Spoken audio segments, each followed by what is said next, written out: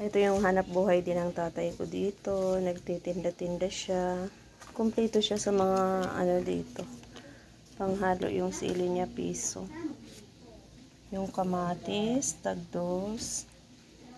Yung kalamansi din, tagdos. Alisin natin yung mga sira na. Tapos yung sibuyas, tres. Yung bawang, sais. Ayan, may mga tuyo siya, oh.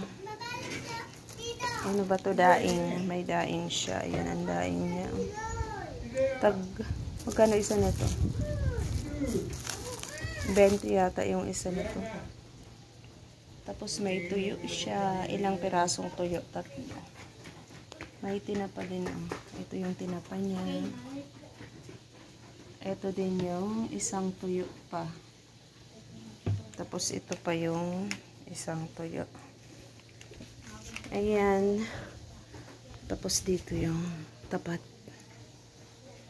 Nagtitinda pa yung tatay ko. 82 years old na siya. Kunti na lang laman ng tindahan ng tatay ko. Ito na nga. Ay, matigas. Di pa to. Ay!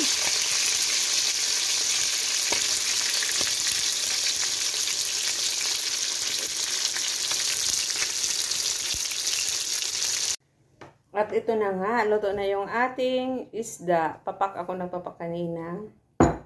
Luto na siya, oh. Prito. Ito yung ulam natin.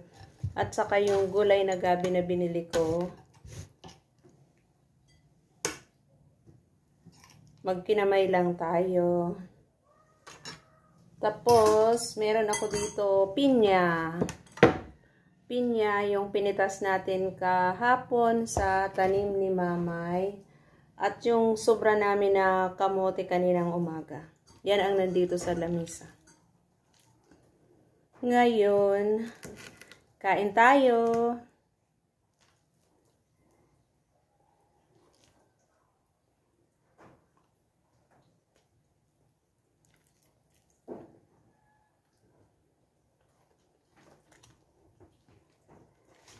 Ako lang mag-isa dito sa bahay. Hindi pa dumating yung kapatid ko at saka nanay at tatay ko.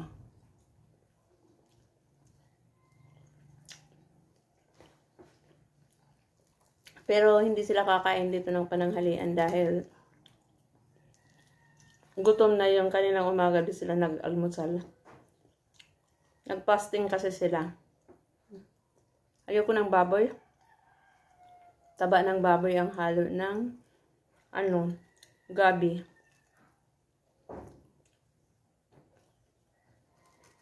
Iba talaga yung isda pag sariwa.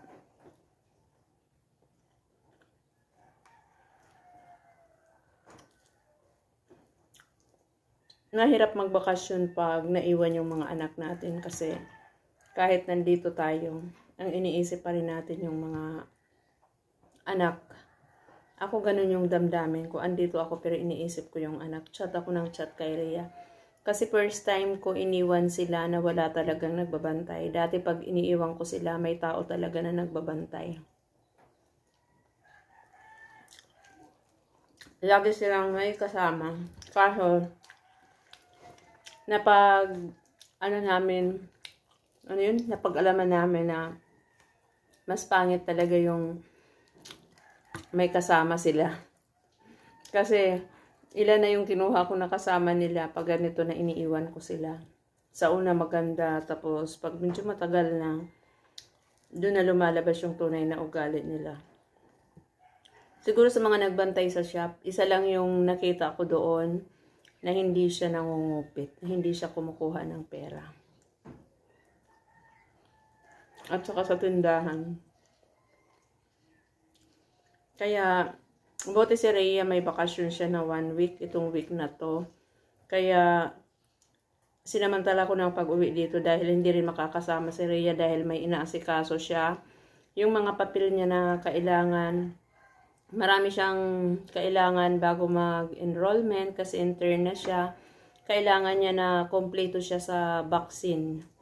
Kaya nga, mas malaki yung binayaran ko ngayon na magpo-purchase siya kasi yung may physical exam sila, nagbayad sila ng 2,500. Tapos yung sa mga bakuna niya, bali, nung nakaraan ang binigay ko sa kanya, bali 6,100. Kaya bali 8,600 na yung nagastos niya para sa bakuna at saka yung lahat ng kakailanganin niya bago kami mag-enroll. Kasi yung tuition fee niya parang umaabot ng 56,000 mahigit. Pag-cash yun ha, pag-cash. Kasi kinakas namin yung ano yung tuition niya. Kaya nasa 56,000 siya yung first semester niya.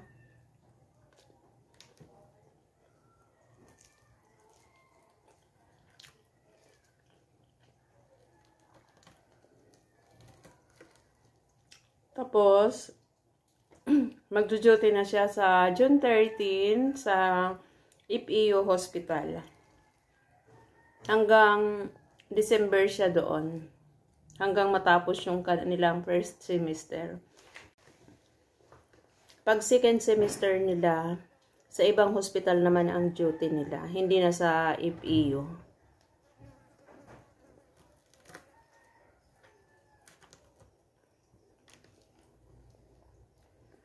Kaya ang bilis din talaga ng panahon. Pero marami sa kanila yung ano, yung may bagsak na isang subject, ganyan. Tapos nung nag-final sila, marami din yung magre-removal sa kanila.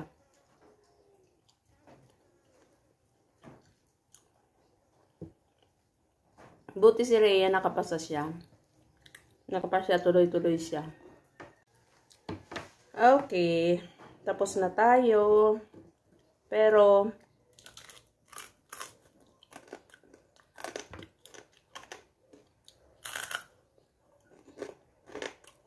malutong yung ulo ng isda. Simutin natin yung kanin.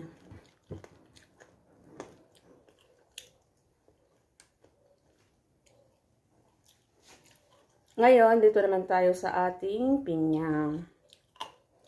Yung pinya na tanim ng nanay ko noon. Di pa siya ganun kahinog. Mmm. Pero matamis na siya. Tama lang. Mm.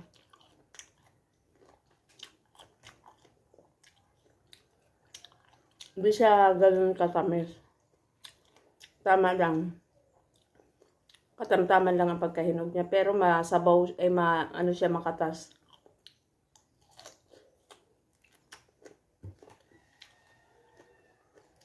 Mm-hmm. Pangalawa. Ayan. Hmm.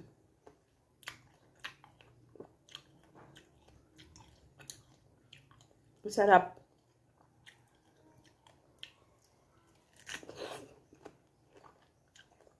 Hmm. Makatas. Magdala kaya ako nito doon sa Manila.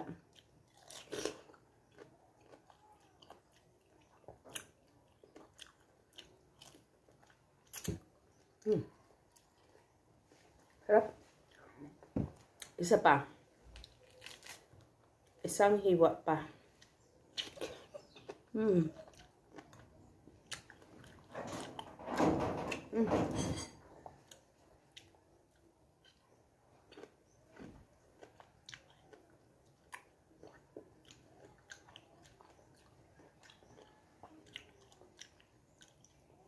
Matamis siya.